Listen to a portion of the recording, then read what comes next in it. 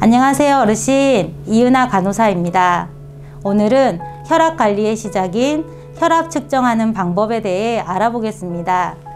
촬영에 도움을 주시기 위해 귀한 시간을 내주신 윤종우 어르신을 소개합니다. 네, 안녕하세요. 저는 윤종우입니다. 네, 반갑습니다. 아, 먼저 혈압 측정 전 주의사항 네 가지가 있습니다. 첫 번째, 30분 이내에 흡연, 음주, 카페인 섭취를 하지 않습니다. 화장실을 다녀온 후 5분간 휴식을 취합니다.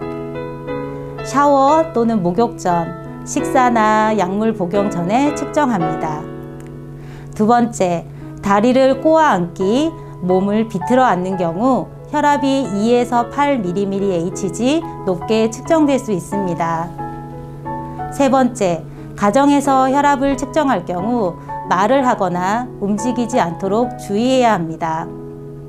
본인 혈압보다 10에서 15mmHg 높게 측정될 가능성이 높습니다.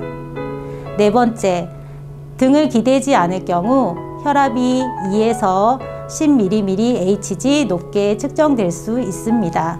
그럼 혈압을 측정해 보겠습니다. 혈압 측정 전 5분간 안정을 하며 조용한 환경에서 측정합니다.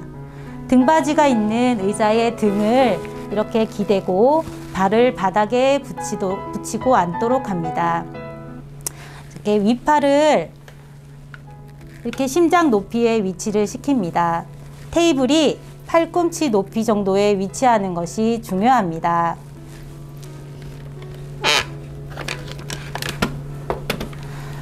cuff와 cuff를 감을 경우 이 cuff와 심장의 높이가 심장의 높이가 다를 경우 혈압이 부정확하게 측정될 수 있습니다. cuff를 감을 경우에는 이렇게 얇은 옷이나 맨살 위에 감는 것이 좋습니다. cuff를 아래 cuff 아래 3cm 정도 공간을 확보해 두고 커프를 감습니다. 커프를 감을 때는 커프 안에 손가락이 한 두 개 정도 들어갈 여유를 두고 감습니다. 그럼 혈압을 측정해 보겠습니다.